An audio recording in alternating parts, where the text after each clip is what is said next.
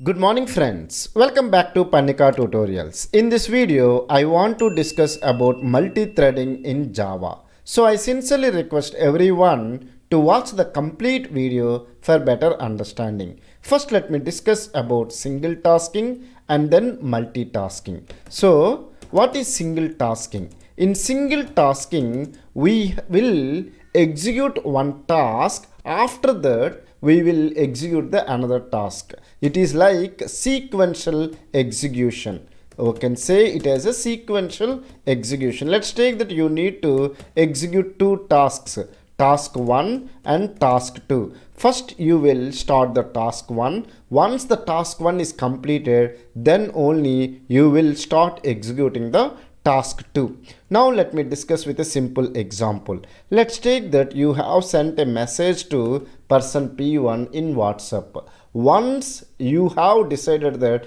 I will complete the conversation with him, then only I will start conversation with another person.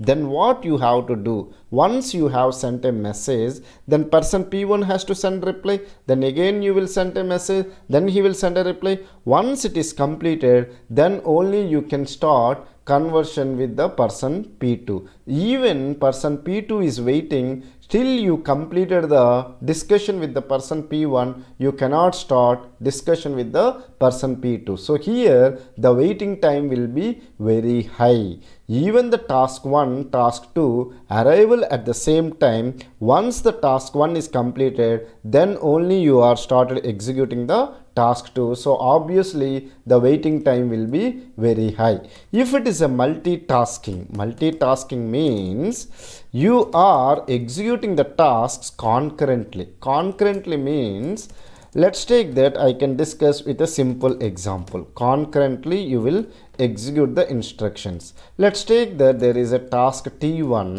okay then there is a task T2. Now you have started doing the task T1. Now in between you could not able to complete all the operations in the task 1 let's take the task 1 requires some IO operations then it will go to the block state okay? Then you will start the task 2 once some thing about the task 2 you have completed then again you are waiting. In the meantime you will do the task t1 then you will do the task t2 so like that you will do the concurrent execution. Suppose let's take that. I can give one more example. Let's take that you are having dinner. You are getting a phone call. If it is a sequential execution, first you will complete having the dinner, then you will talk in phone. If it is a concurrent execution, what you will do? While you are having dinner, while you are chewing, you will talk with other person. Then you will ask him to wait. Then again you will eat little bit. Then you will talk. So this is concurrent execution. Here the waiting time will be less. Whereas in the sequential execution, unless until you complete the dinner, you will not talk in the phone. So here the person who is interested to talk with you in phone has to wait for more time whereas multitasking is efficient okay the system performance will be very high and average waiting time is also very less. So that's why we always prefer to execute the tasks in multitask or concurrent way. Now the multitasking are broadly classified into two types. One is process based multitasking and second one is thread based multitasking process based multitasking and second one is thread based multitasking what is the difference between process based multitasking and another one is thread based multitasking is let's take that you have taken two numbers a and b now you want to perform the sum, you want to perform the subtraction, you want to perform the multiplication and you want to perform the division. Then what you have written? You have written the four programs. Okay, program P1, program P2, program P3, program P4. Now here what you will do? You will execute them concurrently. Some part of the program P1 you will execute then some part of the program P2 you will execute then some part of the program P3 you will execute then some part of the P4 like that you will execute them concurrently now as it is four programs you need four memory units am I right so the memory utilization will be very high. So that's why the process based multitasking we will call it as heavy weight processing. We will call it as heavy weight processing. I hope you are able to understand. Heavy weight processing we will say because each program needs a certain unit of memory so that's why the memory utilization is very high so that's why we'll call it as heavyweight processing. If it is a thread based multitasking what you will do with those programs is you will make it as a single program only. In single program you will write one module for the sum one module for the subtraction one module for the multiplication okay for multiplication let me write it as shortcut mul one module for division. So you will write a single program. In this single program you will have several modules. All these modules you will execute concurrently. If you have written a single program you need one unit of memory. Okay? So as it requires less memory i can say that thread based multitasking we will call it as lightweight processing. What is meant by thread?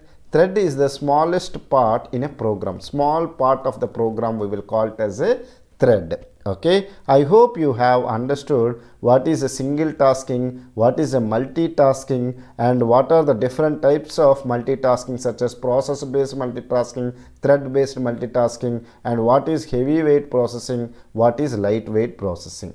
Now we will discuss about thread based multitasking in detail. What we will do is that we will create several threads and we will execute. Now let me discuss about the life cycle of a thread life cycle of a thread.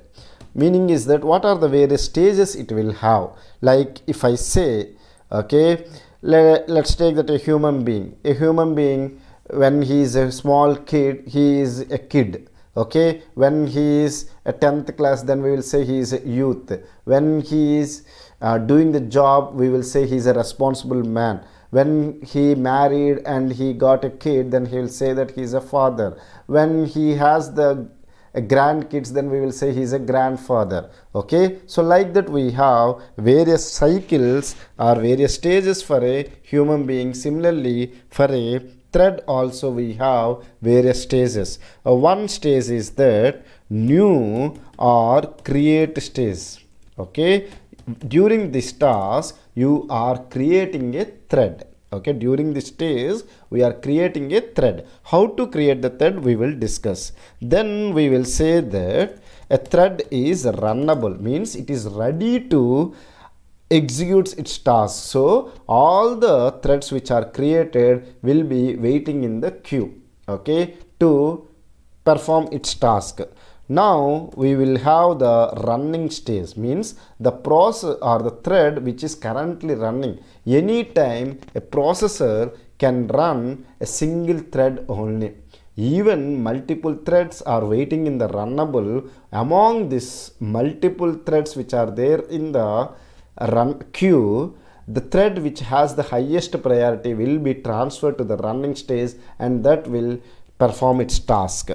And then a thread can end or terminate. Once its tasks are completed we will say that it is end.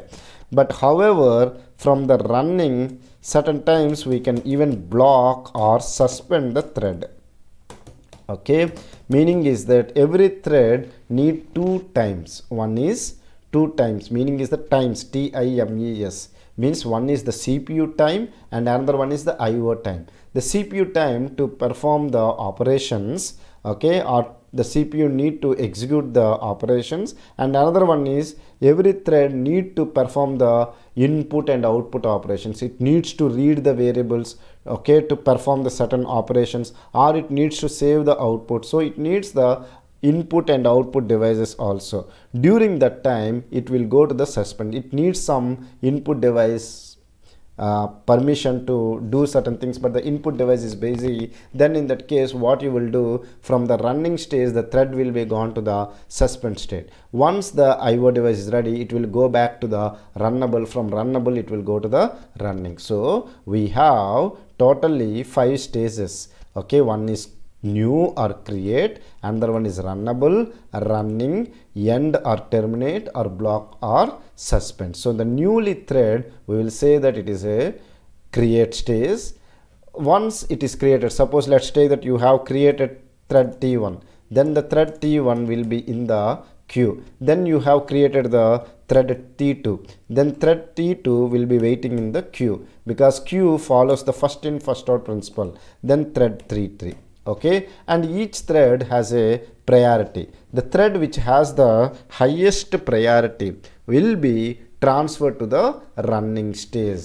What is the priority? All these things we will discuss one by one. So the thread which has the highest priority will go to the running stage. Suppose let's take that thread t1 has the highest priority then it will go to the running stage. Remember one important point among multiple threads only one thread at a time will go to the running stage so that the cpu can perform its operations. If this thread requires some any io time then it will go to the suspend stage. If its task is completed then it will go to the end state from the suspend state suppose let's take that thread t1 requires io time then it will go to the suspend state remaining threads t2 t3 which has the highest priority that thread will go to the running state. Suppose let's take the thread t2 has the highest priority as compared to the thread t3 then t2 will go to the running stage and t1 will be there in the blocked state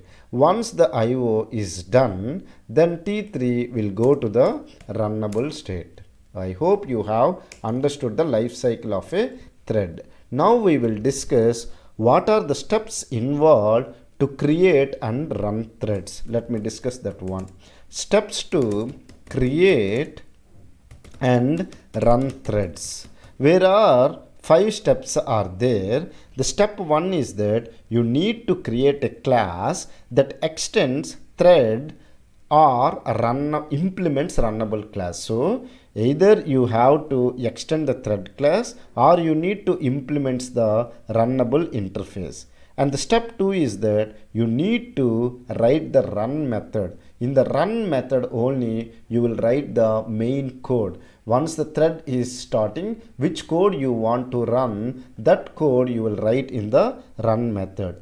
And the step 3 is that you need to create an object for the class which you are extending from the thread class. And the step 4 is that you need to create thread object and link it with our class object which is created in the step 3 and step 5 you will run the thread using the start method. Let me write all the steps. The step 1 is that what? You need to create a class that extends thread class or implements implements runnable interface. Okay? Implements runnable interface. And the step 2 is you will write the run method. That run method will have the main code which you want to execute. Then what you need to do? You need to create an object object to the above class. Means the class which you have created in the step 1 for that one you will create an object. Then step 4 is that create thread object and link it with our class with our class which is created which is created in step 3 and then step 5 is run the thread using start method.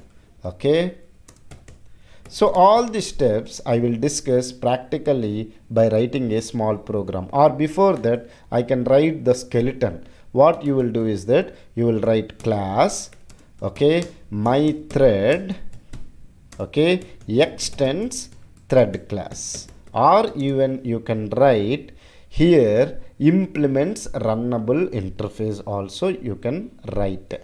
This is your step 1 then what is the step 2 you need to write the run method. So i will write public void run method. And the name of the method should be run only. You cannot use any other method. So here you will write the main code. Then you will close the class mythread then what you will do? You will write a class which is a main class. Whatever the name you want to give you can give. Here you will write public static void main string args okay?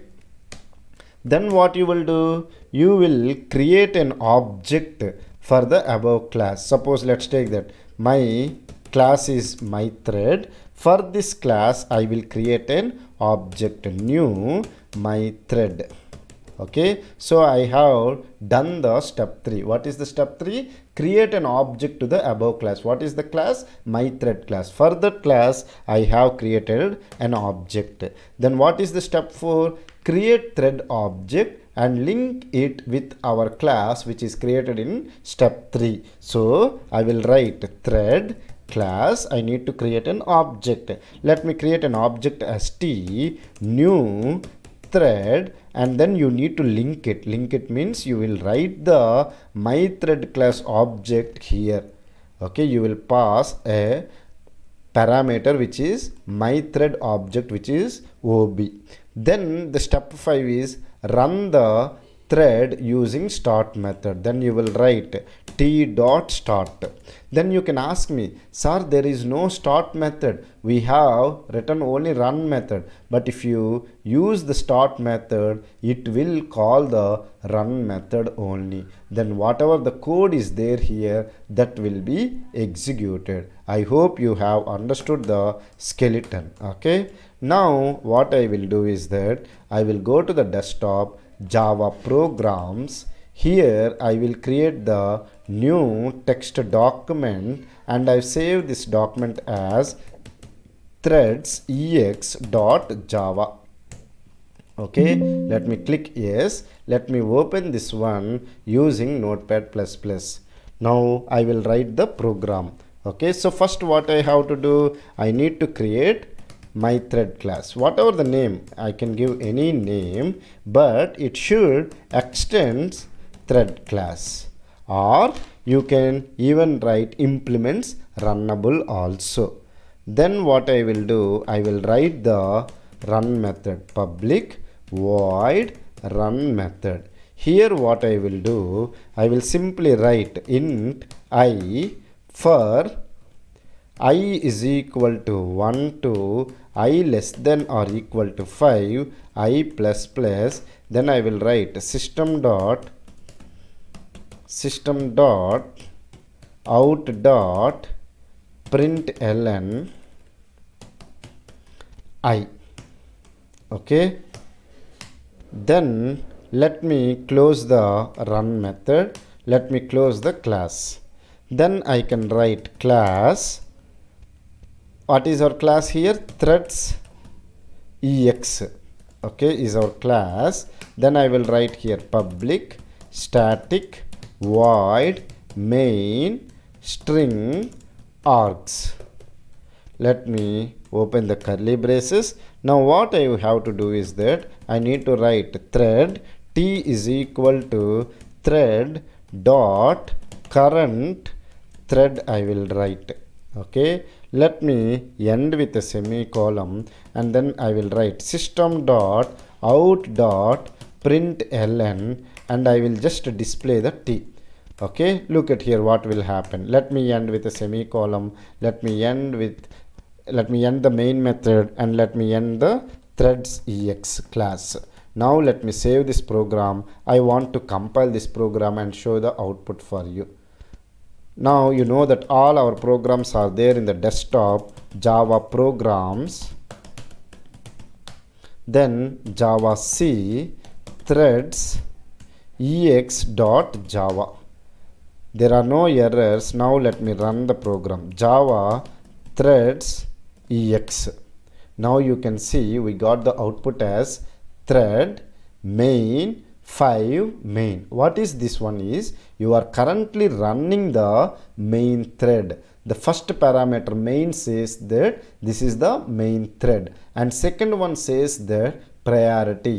By default the priority is 5 and it says that main group. So you have totally three parameters are there. The first one is which thread you are currently running and what is its priority. By default for all the threads you have the priority value is 5 and what is the group? Currently it is running the main group okay? So this one i will call it as a parent thread. Now you can create the child threads okay? All the threads will be there in the group called main group. However we can create our own group also. Uh, that concept i will discuss with you later. Now what i will do is that i will create the child thread.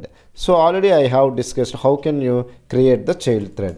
What is the step 3 you need to create an object for the my thread. So i will write th is equal to new my thread.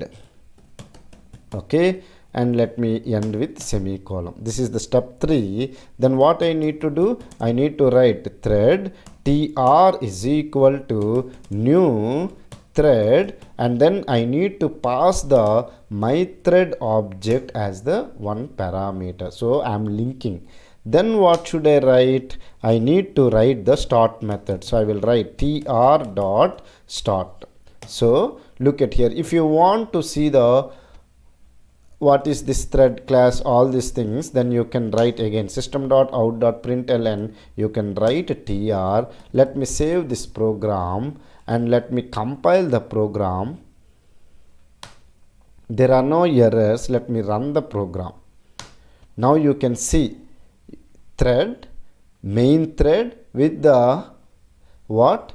With priority as 5 and in the main group. Then you have created thread 1 then you can ask me sir we have not created thread 1 it will give thread 1 okay name it will give by default as thread 1 the next thread as thread 2 like that. And by default all the threads have the priority value is 5 and this thread also your tr thread is also in the group called main and you can see the output as 1 2 3 4 5 so this for loop has run because once you use the start method then automatically it will invoke the run method and what are the statements which are there in the run method will be invoked. You have written the for loop so it is starting from 1 to 5 it is displaying the value. Now what i will do is that i will create one more thread. Okay? So i'm writing my thread th1 is equal to new my thread thread tr1 is equal to new thread th1 then system dot out dot println tr1 tr1 dot start. Now let me save this program okay so how many child class i have created? Two child class. This is child class 1 this is second child class. Okay let me write this as second child thread. I should not i should use the thread. Okay this is first child thread. Okay under the parent thread. Now let me save the program. Now let me compile the program. Now let me run the program now you can see we are getting 1 1 2 2 3 4 3 5 4 5 like that. But we don't know which thread is currently running. Is the thread tr1 is running or tr is running? We don't know. So what we have to do is that we need to pass the thread name and the thread name should be able to access here so that we can print it. So to do that one what I will do is that I will use the constructor here. Okay I will write here first. Okay I will write first thread. Okay here I will write second thread. Now you can see here. Here if you can see by default it is giving thread 1 thread 3 uh, priority is 5 5 under the group called main. Now i am changing the names okay? Thread 1 thread 3 to first thread second thread and then here i need to use one constructor called my thread. Now i will write string some t name then i will write my thread constructor i will use. Okay? Here i will write string some yes and then i will write here t name is equal to yes. Let me end with curly braces. Okay? Now you can look at here. Here i will write t name plus for concatenation open the braces and then i will give space and again i will write concatenation plus. Now if i run the program look at here. Let me clear the screen so i will write cls to clear the screen. Then i will compile the threads ex.java program. There are no errors. Let me run the program. Threads ex now you can see main thread is currently running with priority as 5 in the group main. Then thread 1 5 main thread 3 5 main. Means thread 1 thread 3 and the priorities are 5 in the main thread group.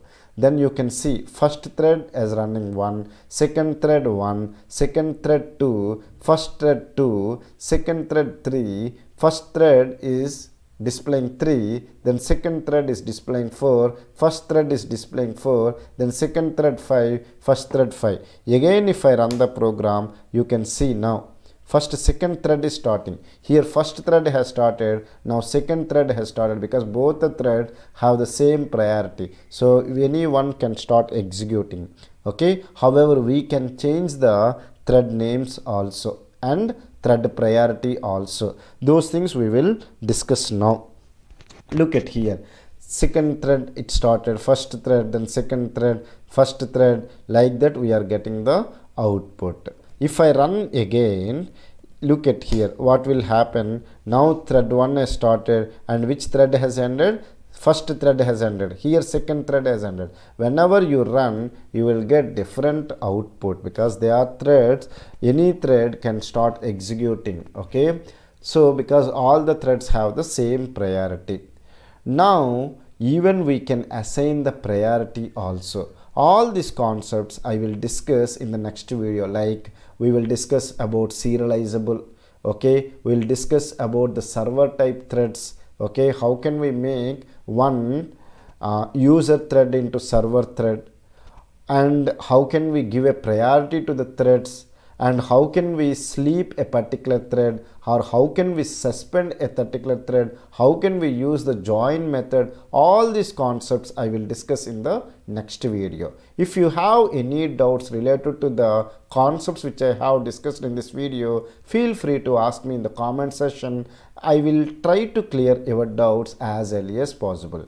Thank you for watching the complete video. Have a nice day